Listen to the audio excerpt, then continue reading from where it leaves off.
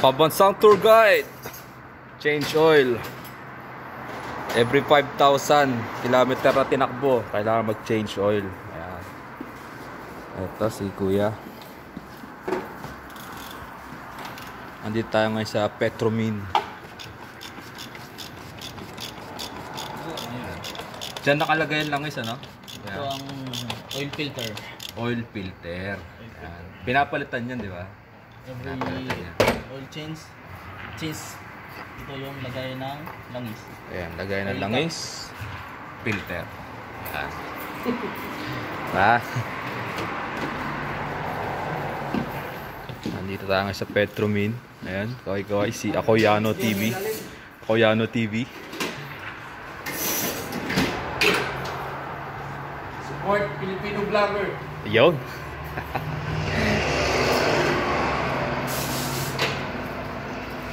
sa ilalim, ang gagawin dyan ay patatagasin.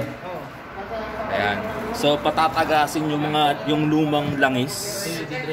I-drain. Tawag nila i-drain. Ayan. Ito yung oil drain. Oil. Ito yung drain plug. Drain plug. Ayan.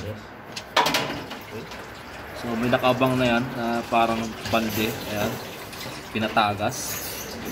Oh. Kumuha ng sample. Sobrang itim. Sobrang itim. Ang ibig sabihin ay Sobrang kilometrahe natin, boss. sumobra na tayo sa kilometrahe. Dahil nga ang Langis. langis na nilagay noon ay 5 for 5,000 kilometers lang. Sumobra kami ng 3 kilometers dahil 3, ah, 3,000. 3,000 kilometers dahil 8,000 ang tinakbo niya na bago na pa-change oil. Anong epekto nun pag ah, sobra sa kilometrahe? Sibling na ano yung makina natin. Tagas, kulang yung langis. Kakatagas yung yung katulad ngayon, oil seal, sira. Sira yung oil seal. Oy, may oil leak tayo niyan. Oil leak. So kapag sumobra pala tayo sa kilometrahe, pwedeng masira yung oil seal. Tapos yung carbon natin. Alam mo? Ang dumi. Daming carbon.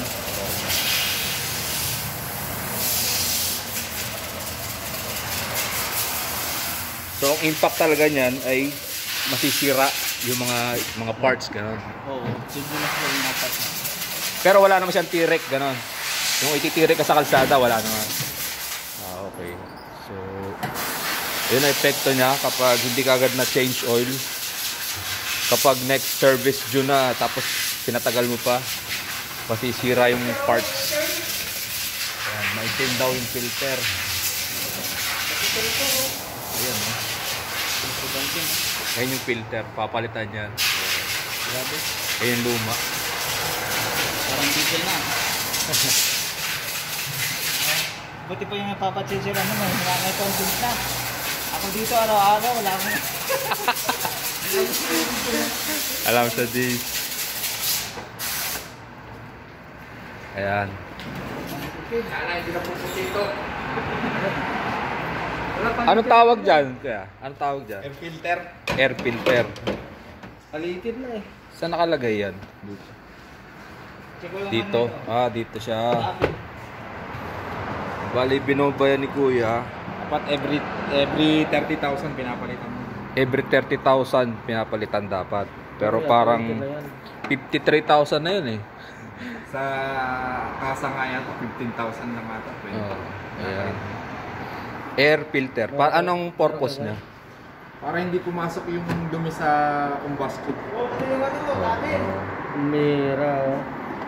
Ayun pa oh. May isa pa dun oh. May isa pa natuklasan. Ibig sabihin yan, papalitan na magkano yung ganyan dito.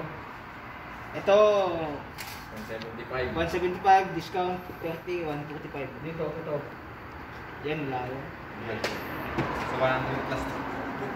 Pero may kasya yata dito ano eh. 85?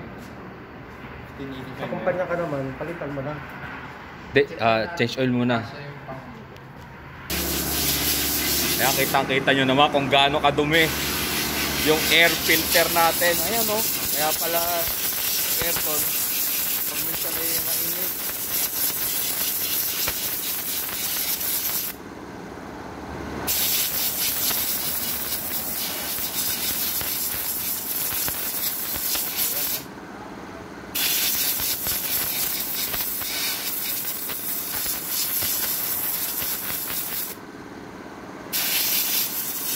So guys, nandito tayo ngayon sa Petromin.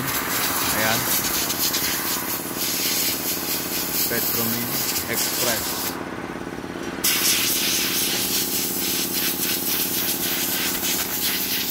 Sabi lang siya ng gas station. Ayan. Kompleto sila ng gamit dito.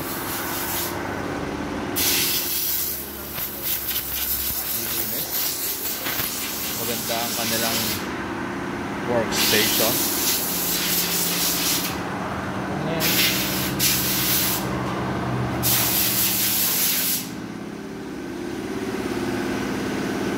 Meron lang dito na nakatulog. Inangat siguro, hindi alam. Natanggal. Alin ang nawala? Nasa gitna eh. Ayo, pinalitan ng bagong filter. Ayan. Oil filter.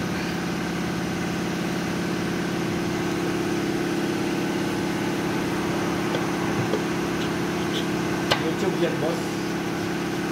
Pambansang tour Pambansang tour guide nga pala. Magsusubscribe kami. Ay subscribe na lang pambansang tour guide. Tamo, yung mukha, ay yung fan. Tutorial. Pambansang tour guide. Ayan, mga kaibigan natin dito sa Petromin. Puntahan nyo lang yung channel nito. Yan, sabi ko. At Alright. pumunta dito sa Petrowin. Ayan. Ligpitan, kuya.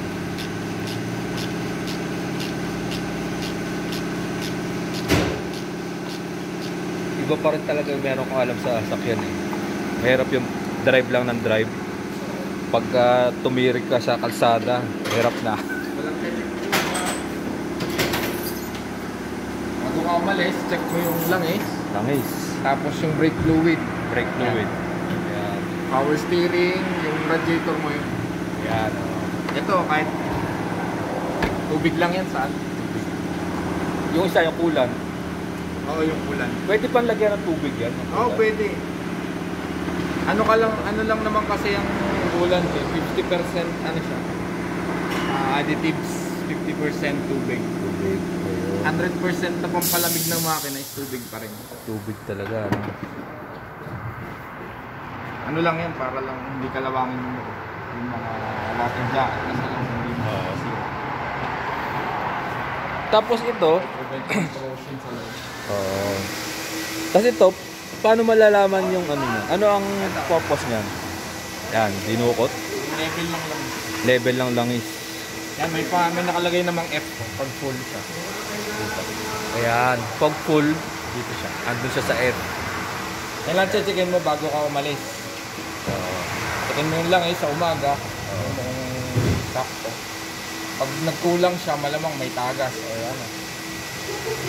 Yan bang oil na yan? Yan din ba yung tinex oil natin kanina? Oh, yun na yun. Yun. Wala siyang laman ngayon kasi na-drain yung Na-drain, na oh. Yun.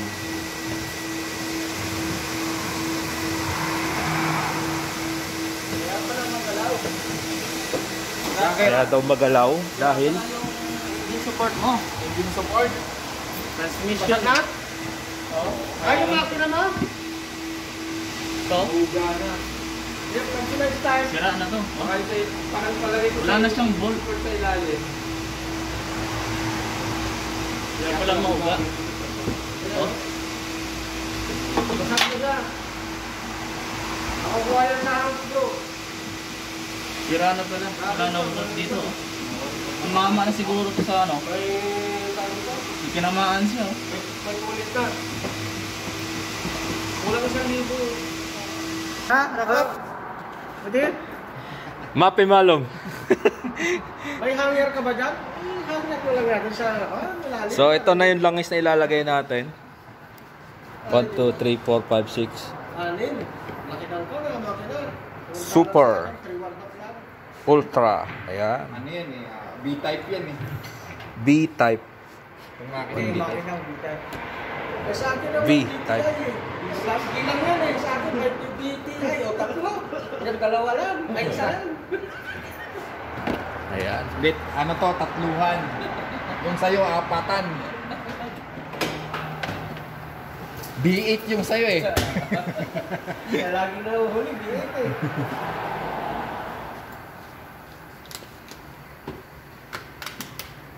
O, ito na lalagay ko ah. Last na. Wala na, buksan mo na eh. Malambaw yan ha. Okay, linis ulit to. Dapat ba driver may hawak na talaga? Change oil, gano'n? At change oil, dapat driver ba wala? Hindi naman, kanina, pwede naman sana. Ano, ano, ano? May cheese ko, boss? Nagiging na naman. Cheese ko boss yung pakinig niya. Lapit lang dito, ano? Oo, oh, isang ito. Ah, isang U-turn lang.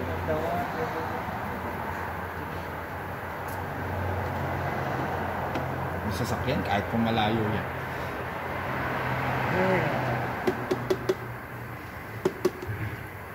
Dapat iniipod yung plastic eh. Ano yung gulo ba? Oo. Eh, namumulat yung mga plastic eh. Kadami dito eh.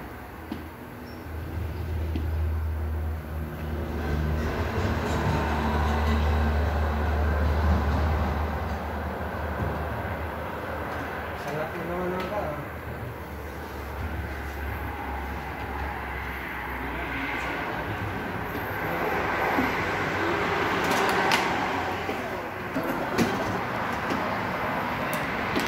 Tama. Oo. Yung baterya na...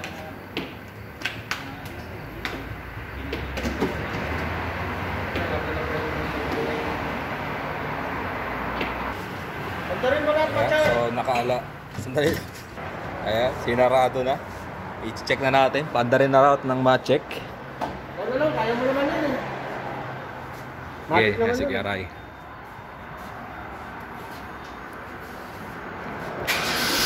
Mo ka ng gusto. Dapat pinakita mo. Lang yung kinan mo. Ulitin mo, ulitin mo rin. Patayin mo.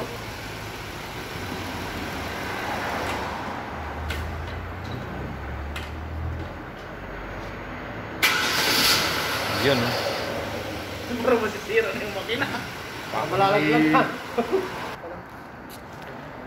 Ayan, so natapos na ating change oil. Ililinis pa lang yung yung makina. So, tapos na tayo mag-change oil. Nandito tayo sa Petromin Express. Ayan. Dito sa pwesto ni Apoyano TV. Ayan. Don't forget to like and subscribe.